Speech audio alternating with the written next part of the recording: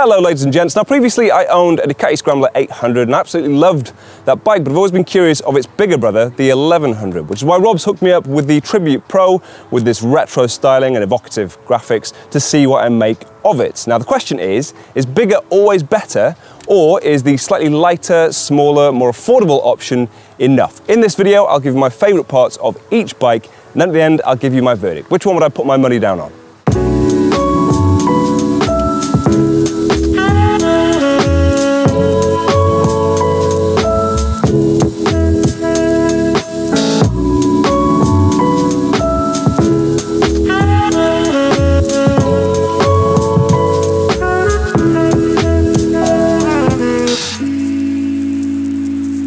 Before we get started, a massive thanks to Ridge Wallets for sponsoring this video. Now, when I'm out on the bike, I like to carry as little with me as physically possible, which is why their wallets are ideal. They take up to 12 cards and you can store some cash on the back with the clip, but the whole thing isn't much bigger than the cards themselves. They're really hard wearing, which is again great for bikers. They come with a lifetime warranty and they're also RFID blocking, which means that nobody can scan your contactless cards without you knowing. Rob hooked me up with this one in matte olive because as you can plainly see, I love me some autumnals, but they've got loads of great colors and designs to choose from. I've also been using their key case for the last few weeks and I have to say that's impressed me just as much. It's slim, discreet, and most importantly silent, and that is important because now I don't jangle like a Christmas elf whilst I'm out with the wife. She has complained in the past. They can hold up to six keys and you can also get this in a variety of different colors. Get the best offer via ridge.com forward slash moto bob. And at the time of making this, they're offering up to 40% off until December 22nd. Ridge.com forward slash moto bob. Links can be found in the description. Once again, our thanks to them for sponsoring this video.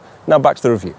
Let's start with how these bikes are similar. And the most obvious thing is, of course, the looks and the styling. They both take off the style of the original 1960s and 70s scramblers from Ducati. The 1100s come in a more affordable dark edition, or you can pay a bit more for the Tribute Pro like we've got here, which gives you a more eye-catching colorway and more distinctive graphics. The 800 was updated for 2023 though, with a massive selection of color options, nine to be precise. But the more affordable dark edition has unfortunately been discontinued. Apart from that, at a glance, they share very similar aesthetics. What I really liked about my bike and what I was glad to see is still in full force on this one is the fact that it feels so simple and raw and stripped back. Part of me wondered whether this would feel like a Ducati Monster to ride, and I would say that isn't necessarily true. It does feel distinctly different from those bikes. Something else that really drew me to my bike originally was the fact that it was so small and playful. And alright, this is slightly bigger and heavier, but it still feels small and playful compared to other bikes within its category. So why might you want to go for the smaller Scrambler 800? Well, the first point is always going to be it is more affordable. The Scrambler Icon 800 has gone up a little in price this year at just shy of 10 grand, but that's still a fair bit less than the 12,800 pounds of the Tribute Pro we've got here, and still almost a couple of grand less than the 1100 Dark Edition. Obviously that price difference speaks for itself, but the Scrambler 800 gives you a little bit more reserve to customize it, put on accessories, and make it a little bit more unique. And it is a really versatile platform. You can go for accessories from Ducati themselves, or you can find a host of them online.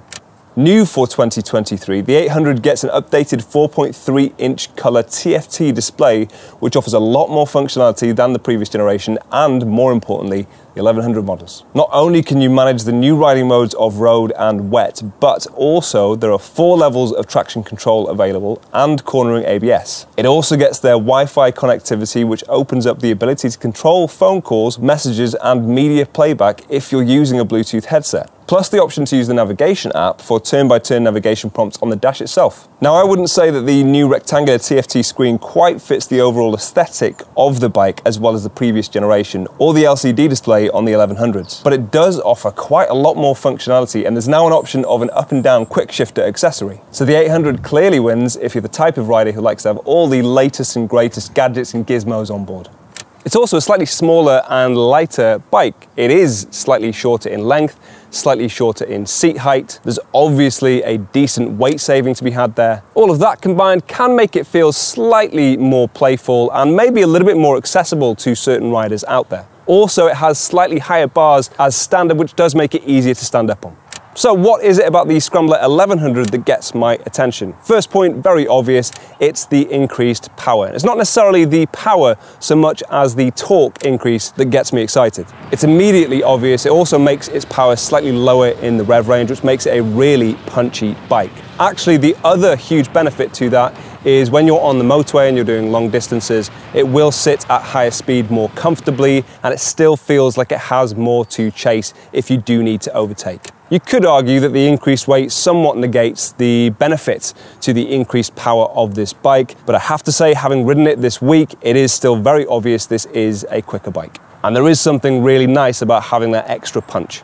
The other thing you generally get with a bigger bike is an upgrade to the brakes and suspension. Again, pretty noticeable on this. You have two Brembo calipers on the front instead of the single caliper you have on the Scrambler 800. You will also notice fully adjustable Marzocchi forks on the front and those also make a difference. It does give it a slightly firmer, more composed ride. The Scrambler 800 might be a little bit more forgiving, but this is a sportier feel. You also get these lower handlebars which drag you into a sportier position over the standard versions of the 800 and I have to say on the road I definitely prefer them. And we're still talking about somewhat fractional differences, but they do all add up.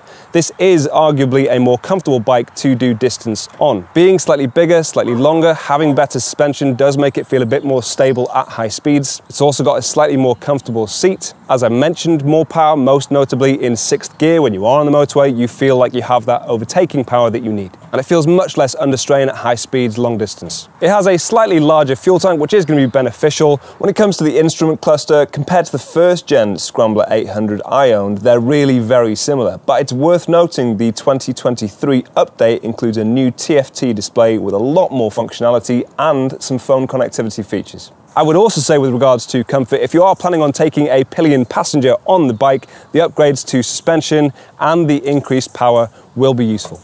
Bonus category, I can confirm Rob was absolutely on the money when he said the 1100s have the best exhaust note. It is slightly deeper and bassier than the 800s. Let me show you.